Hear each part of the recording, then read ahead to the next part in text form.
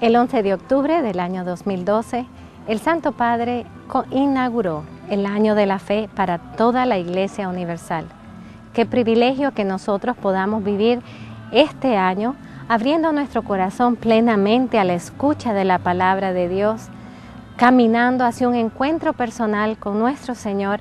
y al mismo tiempo proclamando y profesando con valor, con alegría, con entusiasmo y coherencia la fe